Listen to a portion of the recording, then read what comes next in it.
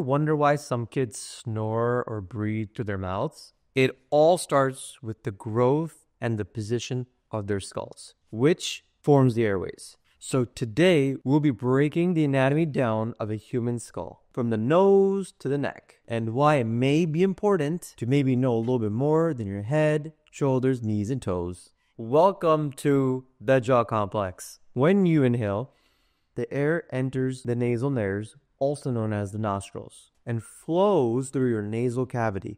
Then flows to the pharyngeal airway, which is made up of three regions. Once the air leaves the nasal cavity, it enters the nasopharynx, the upper back part over here. Then, as the air moves further, it enters the oropharynx, the space here behind your tongue. Then, lastly, the hypopharynx, which is the mid to lower throat region. From there, it's the larynx, trachea, and straight to your lungs. Now, 80% of skull growth is completed by age 2 and 90% by age 10. The size and positioning of the jawbones directly affect the size and efficiency of the airway.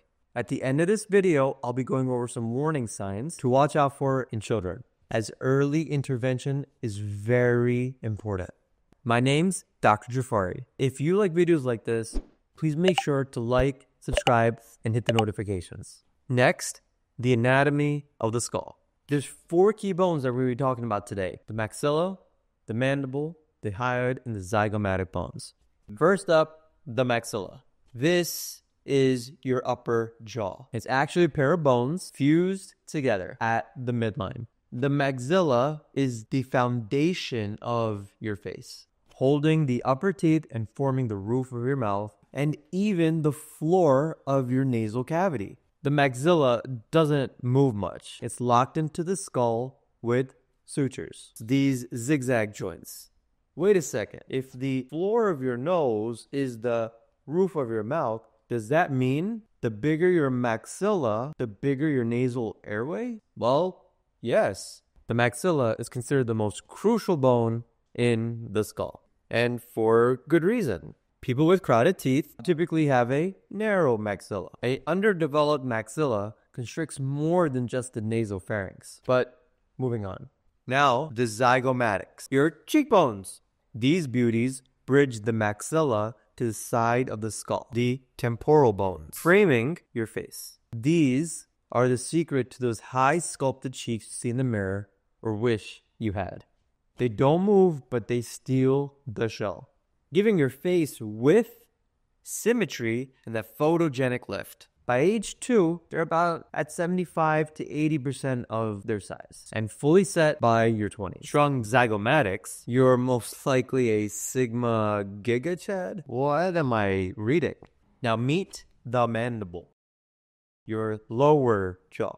This is the skull's only truly movable bone, thanks to the temporal mandibular joints, TMJ, connecting it to the temporal bone.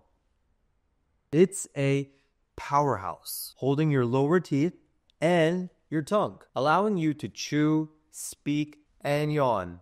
Fun fact the mandible is the largest and strongest bone in your face. At birth, it's in two halves, but those fuse at around age one. The mandible keeps growing throughout your teens, reaching full size around 18 to 22. Though it does shift slightly later throughout your life as you lose teeth or grind them down. It shrinks Literally, it shrinks. as you get older. yeah, like literally. Let me cry. The length and size of the mandible is extremely important for the positioning of your tongue. It keeps it up and out so it doesn't fall back in the oropharynx and allows for the tongue to act like a natural palatal expander for the maxilla. Some people would call this mewing. The TMJ is also why the mandible stands out. It's a hinge and a glider, allowing you to open wide and side to side and front and back. No other skull bone has that kind of freedom, and it's built tough. Studies show it can withstand forces up to 200 pounds per square inch when you bite down. So basically, your opening muscle, like, so if you ever like the crocodile hunter, they always go from behind and they lock the jaw because the jaw is hard to open up. And so then they can control the alligator, the crocodile. The biting force is really high. Right. The opening force is really weak. Last but not least, the hyoid bone. This little guy is a bit of an oddball. It's technically not even attached to the skull directly. It's shaped like a tiny horseshoe or the letter U. It sits in your neck just below the mandible, held in place by ligaments and muscles. It's the only bone in your body that doesn't articulate with another bone. So, what does it do? Well, it anchors your tongue and larynx, crucial for swallowing and speaking. Without it, you'd struggle to say hello or gulp down your lunch. It's small but mighty and is fully formed by your early teens. However, the position of this bone is correlated to the growth of the maxilla and the mandible, which is important for the hypopharynx of your airway. Together, these four bones are the most important to look out for in the developing child's airway. The maxilla builds the base, the mandible drives motion, the zygomatic sculpture style, and the hyoid hold it all together. Most of their growth wraps up by age 2, hitting full form by 20 years old. They're not just functional, but they're the reason why your face makes your face.